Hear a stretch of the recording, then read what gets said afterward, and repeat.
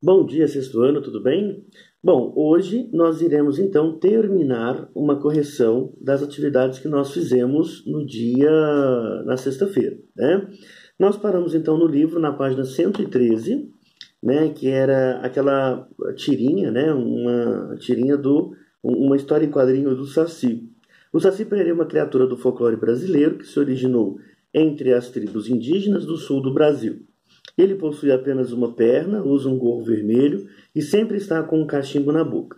Leia os quadrinhos a seguir, em que a personagem principal é o Saci Pererê e depois responda às questões. Então nós somos aí a turma do Chachado. Oi pessoal, como vocês já sabem, eu sou o Saci, uma das mais conhecidas figuras do folclore brasileiro. Sou conhecido de norte a sul do país. Sou personagem de livro, TV, quadrinhos e etc e tal. Ou seja, eu sou famoso. Oh, muito famoso.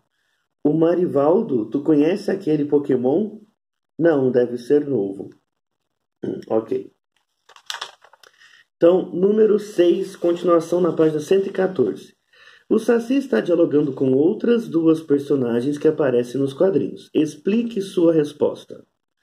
Não, ele não está é, dialogando com aquelas pessoas, tá? Se apresentando para quem lê a história em quadrinhos.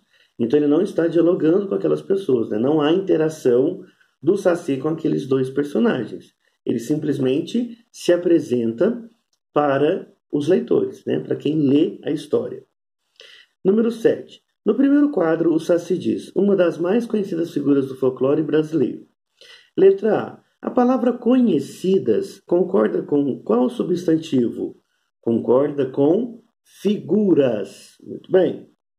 Reescreva essa frase, letra B, é, substituindo a palavra folclore por, por cultura. Então, uma das mais conhecidas figuras da cultura brasileira. Muito bem.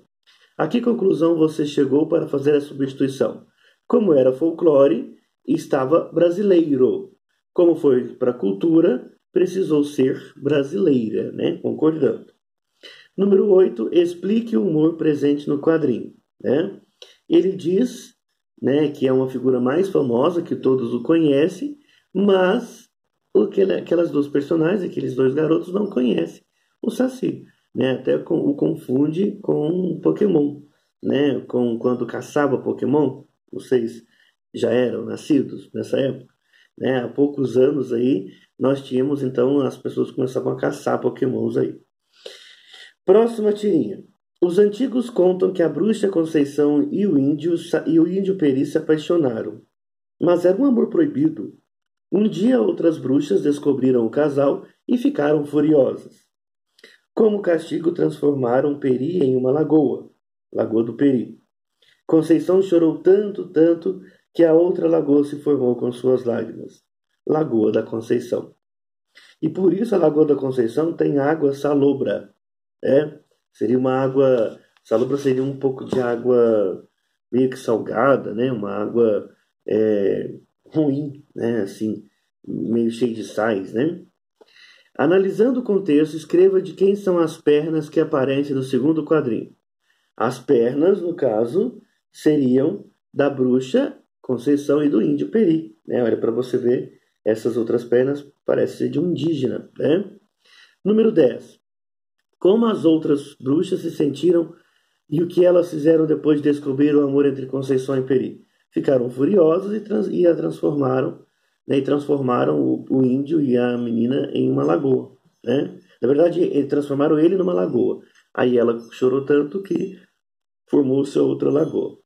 Ó, Água salobra significa água com salinidade intermediária, ou seja, uma mistura de água doce com salgada. Né? Não chega a ser água salgada do mar e também nem água doce do rio, né? um meio termo aí. Considerando essa informação, responda por que, segundo a lenda, a Lagoa Conceição tem água salobra. Né? Porque se você já nunca teve esse prazer, às vezes, da lágrima, né, das lágrimas caírem aqui próximo à boca, né, você sente que há um gosto um pouco mais salgado. Né? Não é uma água não é uma água normal. Né? As lágrimas elas são salgadas porque há uma eliminação de sais né, pelo, no corpo, assim como o suor também. O suor ele é salgado, né? são sais que estão sendo eliminados pelo corpo. né, do corpo. Número 12. A grafia da palavra mas no segundo quadrinho está correta, ou o adequado seria o uso de mais. A grafia está correta, porque seria mas, né, uma interjeição, uma conjunção adversativa, ou seja, uma ideia contrária. Eles se apaixonaram, mas era proibido, né, não era permitida essa paixão. Número 13. No terceiro quadrinho temos a seguinte frase: Um dia outras bruxas descobriram o casal. Reescreva a frase acrescentando ao lado do substantivo bruxas e o adjetivo invejoso. Então explica a concordância feita. Então, um dia, outras bruxas invejosas descobriram o casal. Foi necessário, então, o quê? Transformar o adjetivo para o feminino e para o plural, para que concordasse com o substantivo bruxas, né? Porque ele era invejoso e aí passou para invejosas, tá certo? Bom, pessoal, quero que vocês então façam Deem uma lida da página 116 até a 119. Faremos a correção no nosso encontro às 10 da manhã na plataforma Zoom. Ok? Aguardo vocês, aguardo todos vocês até às 10 horas. Um abraço.